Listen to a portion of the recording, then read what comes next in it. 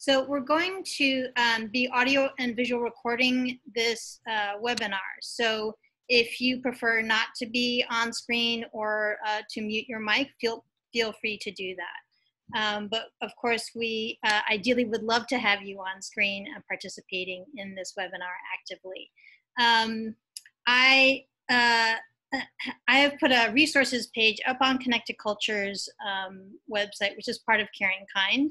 Um, and there on the resources page, you'll find uh, videos of the previous few um, few webinars that we've had as part of this series. So if you uh, need to step away for any reason or you want to watch some of those other videos, you can find them there. Um, as far as going forward, um, your mics will be kept muted during um, some of this program so we can cut down on ambient noise.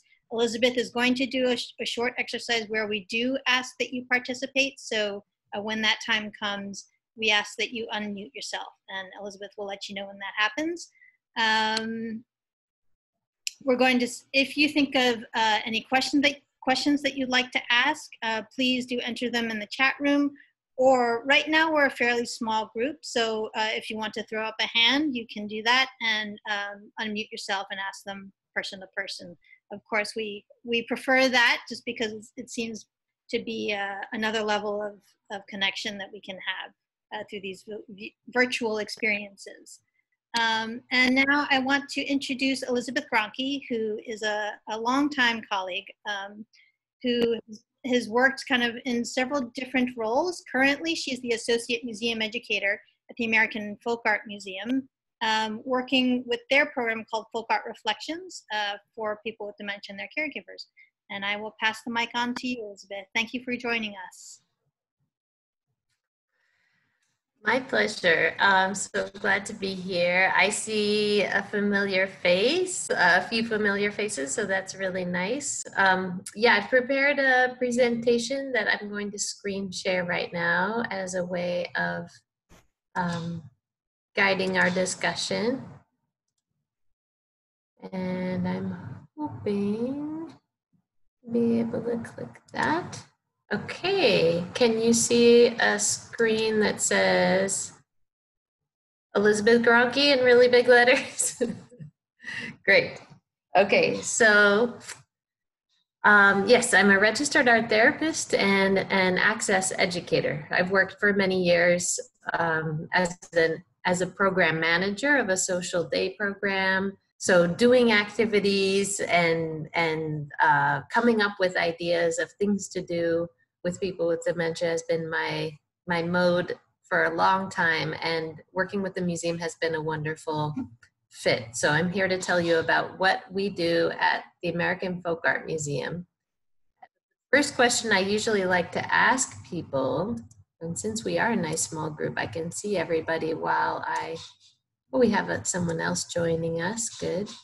I like so i can see you if you've chosen to share your screen have any of you ever been to the American Folk Art Museum? And if you have and you want to share, you can unmute yourself or just raise your hand.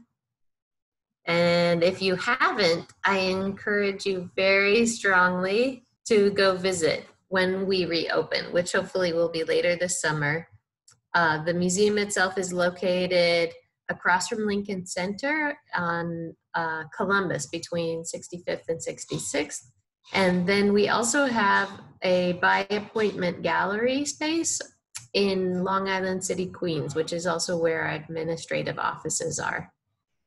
And one of the great things about visiting either of those sites is that it's free. Unlike other museums where you make a money commitment and it's a huge museum and you kind of commit to the whole day of visiting, the Folk Art Museum is a smaller, smaller space always a really beautifully curated show. We have about three per year. And so you'll always see something different and you can pop in and pop out and you always learn something really interesting and wonderful and usually very inspiring. So I also like to ask people when I'm in a group, um, when I go visit, I when I visit programs around the city, I ask people I'm working with, what is folk art? So this is the part where I would love for you, if you're interested, I don't want to pressure anybody, but I would love to hear what you think of when I say folk art. And please feel free to unmute yourself. No one's gonna take, no, no takers on this one? Oh, we've got Lucy. Uh, early Americans, she says. Okay, thank you for reading that. I couldn't see that. Um, yeah, early Amer- there's a lot of early American works in the Folk Art Museum. Absolutely. And I so that's the first thing. Mhm. I have been to the museum, not in recent years, although I did attempt a trip with my mom at least three years ago, but we only made it as far as um, downtown on the east side bus, but she she just couldn't handle the bus, so we didn't make it Oh, I'm sorry. Yeah, I know. Uh, I'm sorry to hear that. I know if I getting getting to- out to the museum. Sorry. Go ahead. Go If ahead. I were able to be with mom, I would be doing this with her. but actually, it's just me here. She's now in memory care as of this past year, upstate in Poughkeepsie. right. But maybe in the future, Okay, I'll be able to do this with her. I hope. Right. Yeah, maybe to bring her down, or I'm going to be sharing some other resources that you could bring up to her from the museum, which I'm really happy to be able to offer. And um, yeah, so yeah, it's hard to get out. It's hard to get to the museum, which is why the program I'm going to describe to you soon um, exists because we've made it possible for for the folk art museum to get out to people which really Great. helps. Um, as I said, I was a program manager, so I know I have. I usually had a group of people who would love some enrichment w- with folk art, but to get the whole group out to the museum was was a huge challenge, a huge logistical um, uh, hurdle. So Can't yeah, so imagine. to have, yeah, right. So um, yeah, so so any other ideas about what is folk art? Anything anybody else want to chime in? I would Artsy. Sorry. Go ahead. I'm just gonna say, um, I've always found there there are interesting materials that artists use, Mm-hmm. kind of not, not Right. not necessarily paintbrushes, you know, kind of your fine art materials, but um, things that Right. you might have in their immediate environment. That's right. Yeah, and found materials and absolutely. Yeah, a lot of people think of quilting when they think of folk art. A lot of people. Oh, there's two more messages. Yeah, it's wooden quilt. Lucy says. Yes. And um, a lot of people talk about self taught art. So I'm going to show you a few pieces of art that kind of, I used a few adjectives when, when Meredith asked for a few words to describe this program. So I, I went through the, the museum's website, which has a beautiful, accessible way to see some of most of their collection. And I found pieces that that fit this i think i said wild intricate um, humorous and touching artworks. So hello i'm glad we have more people. Hello susan. So this is a part of the presentation where i would love participation so don't be shy don't feel like i'm here just to observe you can you can be a participant um, the next image I want to show you is a piece of art I considered a little bit wild, but what do all of you think about it? What do you see in this? I see um, Tammy, try, Tammy, I think you're saying something, but I don't know. Can you unmute yourself?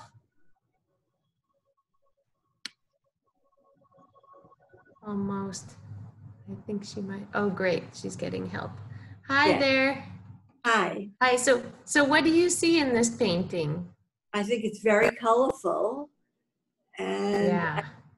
I think it um, goes to what's um, the area that it comes from. And I don't know, it's very pretty. Yeah, yeah, and it's it's got a lot of movement in it, right?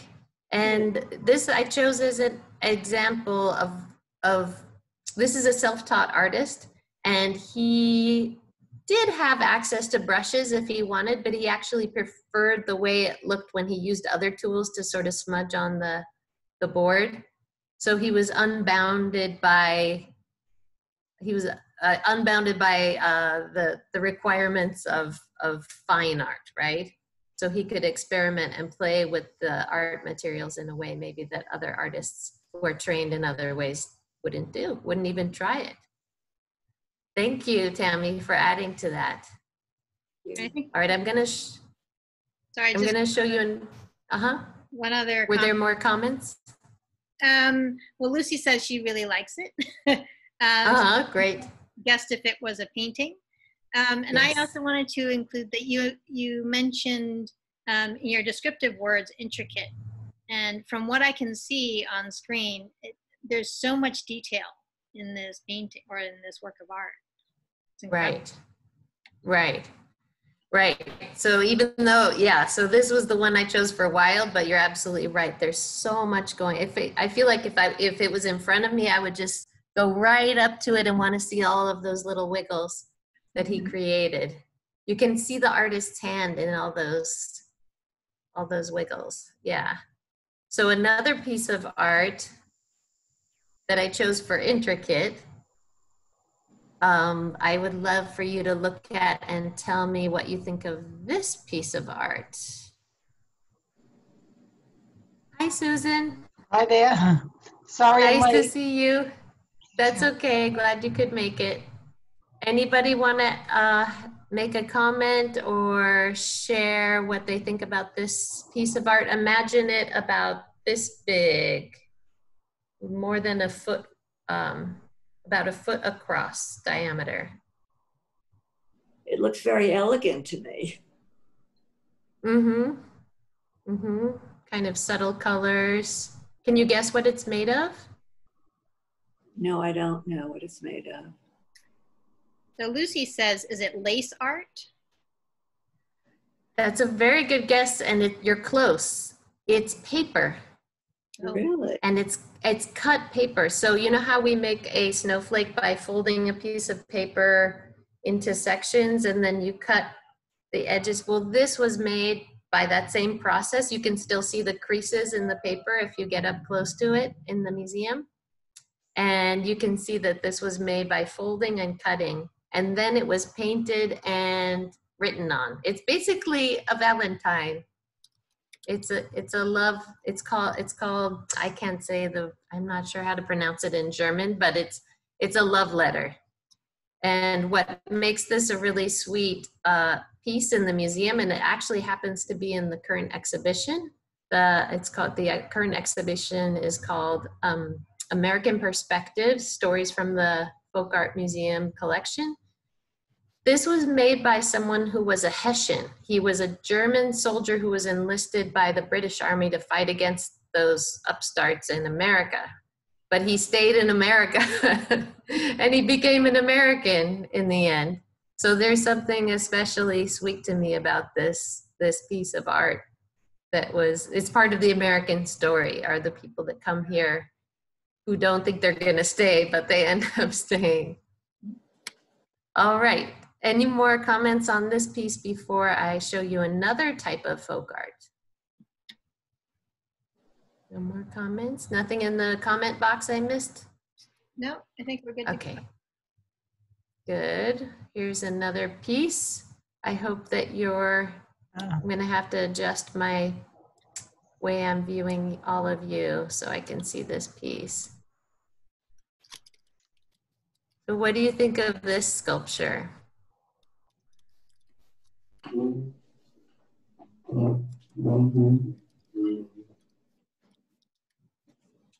What do you all think? Humorous. This one I chose, what, humorous? Yeah, this is the one I chose for humorous. Just because it delights me. It's not funny, funny. But I, I want to tell you that this sculpture is big. It's not a little miniature. It sits about as tall as a good sized dog. Oh, there's some comments. Yeah, Lucy loves it. Okay, Lucy loves it. Oh, great. Yeah, I this is one of my favorite pieces in the collection. Uh, it has such a strong presence in the gallery when it when it's out, and uh, those eyes are so The engaging. expression, I the know, expression. right? yes, I know. whimsical. And the name he's, he's got a name, Peppy, oh, I couldn't and this. that. Yeah, I love the fact that it's a tiger, but he's wearing a collar, so you sense that he's not completely wild. No, like a dog's expression too. Yeah, that quizzical. ever had a dog. the. Mm-hmm. They do. They do give you that look sometimes. usually when you're eating something delicious. Yes. Um, but this was made by a folk artist from the American Southwest who who has made a lot of a lot of animal sculptures. And part his his story, uh, Filippo Benito Felipe Benito Archuleta is his name, and he he says that he like sort of was going through life struggling financially and he prayed to god you know please show me the way. What what should i do? And he was told to carve wood. And he started making animal figures. And in in the area of the, the country he's from there's a tradition of carving wood for religious objects. But he felt unworthy to be making these religious objects. Instead he made animals. And he's done extreme he did extremely well and sort of started a whole generation of of animal folk art in his part of the world and yeah so his story is another one of those really inspiring self-taught artist stories in in folk art. So that's one of the reasons it's really a rich area of art in which to to to present to people especially people who don't consider themselves artists in any way because it's accessible. It's it's full of these stories of finding yourself through art anything else about pepe before we move on pepe Elizabeth, yes how big is this sculpture? i'm sorry i don't have the exact dimensions but i it i recall it sitting about three feet high Oh, so it's quite big. I had it. I thought it was like a tabletop uh, size. no Oh, okay. no no it's did it's it's big Well, that changes your whole perception of uh, oh yeah kind of the the scale of it. Oh, definitely. Yeah. And the and the like I said the presence of it in the gallery, you know, you look in the gallery and it looks back at you. So it's fantastic. I'd like to What's just- that, Susan? Yeah, I just want to add one thing is, thanks to Elizabeth, we looked this artist's um, website up. And if you want to have fun with your loved ones, um, just bring his site up and you'll see these marvelous animals that really are quite, you feel very engaged with them and he's very talented.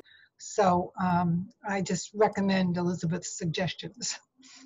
Oh, thank you so much, Susan. I'm really glad that you did that. And um yeah, that I'm gonna get to sort of how you managed to get that suggestion from me. Yeah, I promise I will. I wanted to look at art together just to give a sample of sort of what we do with the Folk Art Museum. But thank you so much, Susan. That means a lot to me.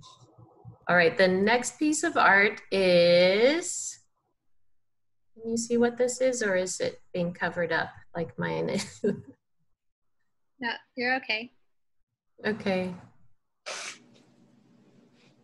What does this look like to all of you?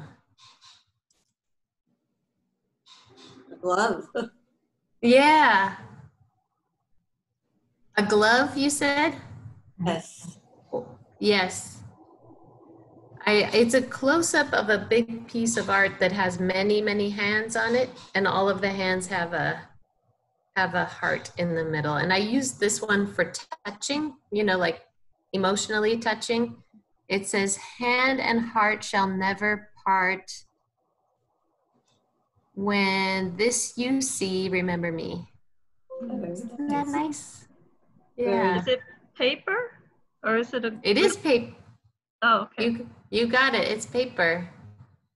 Yep, and it was part of a big tradition of woven and cut and woven paper that I guess men, women, children, everybody was doing these projects at a certain point in American history. So the museum has quite a lovely collection of of sort of different kinds of Valentines, but I don't think they were made just for Valentine's Day. Mhm. So this this is a like a little overview. Now, if I were doing a program for a group of individuals with dementia, it would have a more cohesive theme. We'd spend a little more time on each piece, but I probably wouldn't show more than three or four pieces. And um, but this is how we would do it in a Zoom session is is going back and forth about what we're noticing about a piece of art. And sometimes if the historical and the art- historical or historical elements kind of fit in then then they get put in there. But really it's more about how a, how a group of people might react to a piece of art personally so that's sort of that's an overview of folk art and and a little view of what we do with the folk art reflections program. Now for many years about 10 years the folk art reflections was a gallery program. It was once a month in the museum and individuals with dementia with their caregivers would come in and um, have a similar experience. One or you know maybe with two or three pieces of art in whatever exhibition happens to be up guided by an art educator with training with dementia care. It's been a successful program for many, many years, uh, led by Rachel Rosen, the head of the education department. And I had known her because I brought groups to the museum. And recently, we were able to expand the program. So I was hired to bring the museum out to places like day programs, like residences, memory care residences, anywhere they're already serving groups with dementia. I could co- offer to come in and bring an art program and a discussion. The other way around, first a little discussion, then art making. And I usually try to bring in a touch object to relate to whatever we're talking about. Like I love it when I get to bring out the quilt. Everyone loves that. I you see a um, a lovely lady on the right side holding scrimshaw, this um, carved whalebone type thing, and uh, it's been a great way to bring the museum to people. He looks But of very course- happy. Right? Yeah, she had a lot of fun with that project. Mhm. And it was special for me because this is the day program where I used to work. So it's a way for me to stay connected to those folks. Wonderful. Yeah. And um, we also, as part of this expansion of the mem- of the uh, Folk Art Reflections program, we've been offering a concert per exhibition, so about three per year. This one that we have a photo of right here was really special. It, the exhibition was uh, quilts. So I had the thought of hiring a vocal artist who could lead us in a song circle. So that idea of weaving your voices together, just like when people come together to make a quilt. And it was really cool. I have to say, we filled that museum space. Also, it's conducted when the museum is closed to the public so that it's a really welcoming environment for for individuals with dementia and their caregivers. They don't have to they can they can feel very welcome and, and rest easy that they are they're with a group of understanding people. And then another big adaptation with COVID, since we can't do the in, in gallery museums and we can't do the or in gallery uh, talks and music programs, um, I've been making videos, which Susan has been a really great supporter of and fan of. I'm grateful.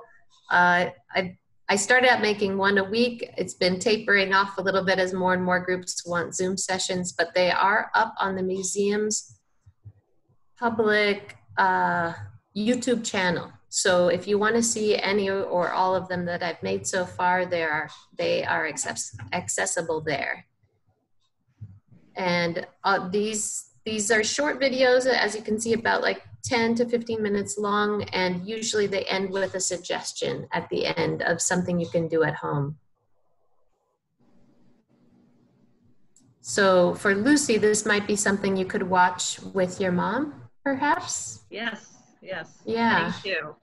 You're I welcome. still look forward to it. Oh, great. Please let me know if you can. I Um, will. I have my, yeah, let me know how it works out. I will. And maybe at the, the place where she's living, they can, they can show it. Yeah, I'll bring my That's- laptop, or maybe they Great. have one. Oh, that's perfect. And then we've also been, as I as I mentioned, doing Zoom sessions. I know we're about to time out, so I'll try to wrap up, Meredith. Um, Okay. So, so yeah, we've been doing Zoom sessions with some of the community partners that we already were connected with, like the day programs and the residences.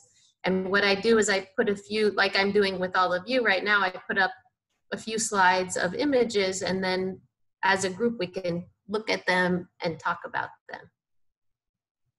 And they usually last about an hour. Is that an artist of today on the subways? Oh, you know what? No, this was painted in 1950 Wow. You know, there's an or artist 55. that they were putting up in the subways. And a lot of the art was of Ah. people on the subway. Right, I love seeing the artwork that they put up. And this these advertisements on this remind me of the artwork they put up on the subway. Yeah, no, this guy was this oh, there's so much to learn about in folk art. So F- Ralph Fasanella was a self-taught artist and very much an activist and a believer in the working people of New York City. So um All walks Yeah. of life. I just yeah, I love this painting. This is so familiar and and especially in times of COVID, it just feels so endearing, you know, to see all of us together, On individuals but together on the subway. It's like I can't wait to see that again. So this is the way to contact me um, through my email. You can ask Meredith if you want to connect her to me, and of course, looking at the museum's website is where you're going to find the resources uh, that will connect you to the Folk Art Reflections program. I'll stop sharing so that we can look at each other. And I think I cut it right up to one minute past. You are perfect, Elizabeth. This Okay. is wonderful. Um, I do want to say, add on, uh, in addition to thanking Elizabeth for joining us as our guest speaker, um, that the some of the resources resources that she mentioned mentioned are going to be posted uh, along with the recording of this video on our website. So you you don't have to madly scribble down the uh, the websites. Um, that will be accessible on our uh, web page as soon as we get the video up. Um, thank you so much, Elizabeth. This was wonderful. I My it, pleasure. it makes me want to be in the museum and to it really experience the the music that you bring in as well as the to go along with the folk art reflections program. Um, I remember going to a couple of the programs uh, a while ago now, um, but it's the the responses that you get between the music and the discussions and just the the ease of the energy in that space uh, is very welcoming and very um, it's wonderful to see those responses so thank you um, does anyone have any questions or comments before we close things? I know we're a little bit over and i want to be respectful of your time. Um, if you want to reach out to elizabeth directly you have her email. Um, if you want to learn more about this or other programs uh, for you as caregivers and caregivers together with the people with dementia, um, you can check out our Connect to Culture webpage online, um, and that you can find at caringkindnyc.org. Um, thank you again for joining us. We do appreciate your participation.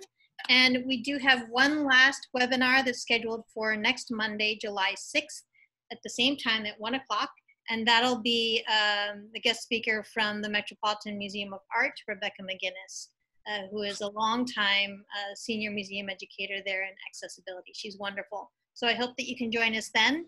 Until then, keep cool, keep safe, and we'll see you next Monday. Thank you. you. Thank you. Bye. Nice to see you. Bye. Thank you.